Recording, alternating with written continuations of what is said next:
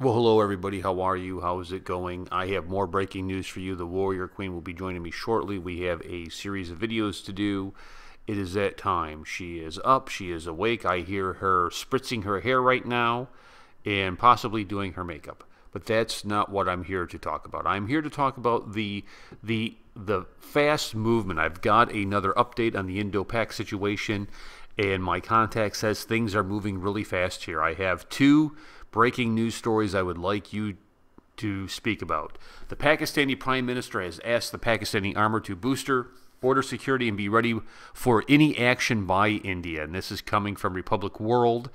Um, and boy, oh boy, is is is the noose tightening. The second thing is United Nations Security Council has met, and they are condemning the attacks and they're urging cooperation with India as it fights off this Pakistani threat.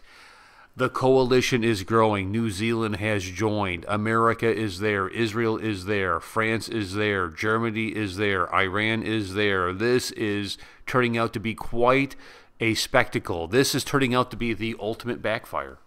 Is it not, my friends? The ultimate backfire. Uh, we are watching the collapse of Pakistan. Somebody said in the comments, oh, it's going to be a cold winter. It's going to be a cold winter. No, no, I said, they said it's going to be a cold summer. It's going to be a cold summer. Uh, the water treaty is a huge deal, a huge deal. Um, I will keep I will keep you guys up to date as I hear things. Uh, this is uh, a phenomenal a phenomenal moment in India's history. Be proud, Indian. Be proud. The world is rallying behind you. Be proud. We haven't even gotten into co-protector stuff yet. Head is shaved. I'm getting ready to go on patrol. I will don the mask and I will report back in the morning. I'll catch you guys later. Peace and much love.